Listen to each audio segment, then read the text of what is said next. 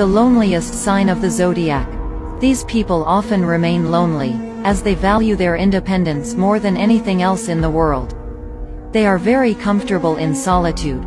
They seek to be alone with themselves as often as possible. This sign is a Pisces. These signs do not forgive anything. Leo, remembers offenses for years. Scorpio hatches a plan of revenge.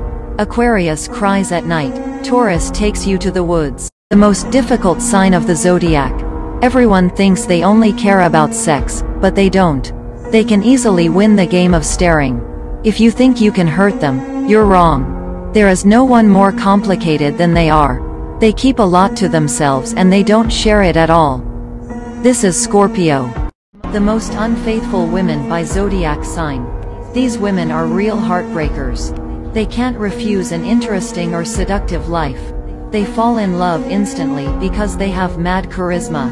They don't cheat because they're not happy with something, they cheat for nothing. These signs are Sagittarius, Capricorn, Gemini. What the signs of the zodiac hate the most. Aries, to expect food. Cancer, bullying. Scorpio, losses. Sagittarius, rules. Capricorn, idiots. Pisces, liars.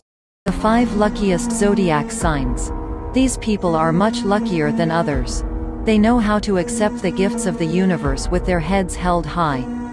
They will always help those in need, even if they are not asked. Many people believe that they get everything for nothing, without effort. But they are often backed by powerful support from above. These signs are Virgo, Scorpio, Taurus, Leo, Aries.